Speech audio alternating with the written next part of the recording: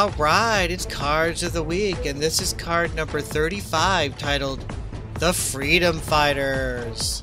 Let's learn about the amazing history of Wedge Antilles. A human male Corellian, Wedge Antilles was born in 21 BBY, the son of Jagged Antilles and his wife Zena, who owned a fueling depot in the Gus Treta Inner System Market Station over the planet Corellia. He had a sister, Syal, who was 10 years older. She left Corellia while Antilles was only 7 and lived estranged from her family. The Antilles never had any word of her and spoke very little about her, but Wedge Antilles remained fond of the sister he never really knew. He lived untouched by the Galactic Empire and the dissent rising against it. Simpler concerns occupied his mind, such as his dream of living in Coronet City, the glittering capital of Corellia. He had maps of the city projected onto the walls of his bedroom, and he longed to contribute to those maps himself by becoming an architect and building great structures. At the same time, he was fascinated by space and daydreamed of naval adventures. Wedge split his time between a farm school located in Corellia's northern hemisphere and his parents' fueling depot on the Gus Treta station. And now it's the backside of the card, and it's Story Digest. The rebels have discovered that warships from the Empire are on their way to Hoth. Instantly, they race to their X-Wing fighters and prepare for a major confrontation.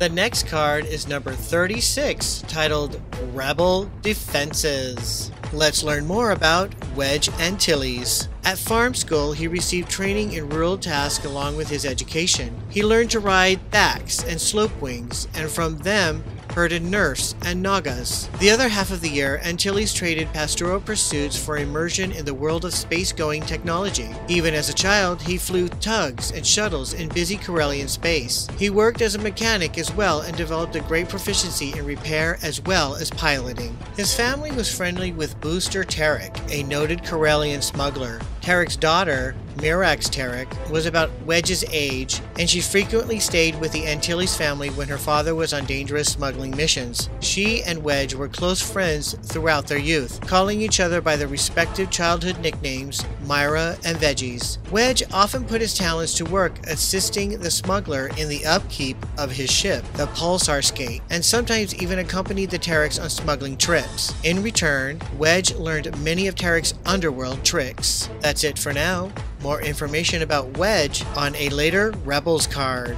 And now it's the backside of the card and its story digest. The Rebels are courageous and resourceful fighters who place their ideals of freedom ahead of their own personal safety. In a battle with the Empire, only the most diligent star pilots will survive.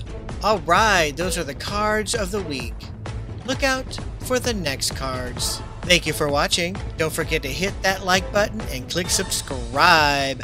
You can follow Star Wars Obsessed on Instagram and Facebook.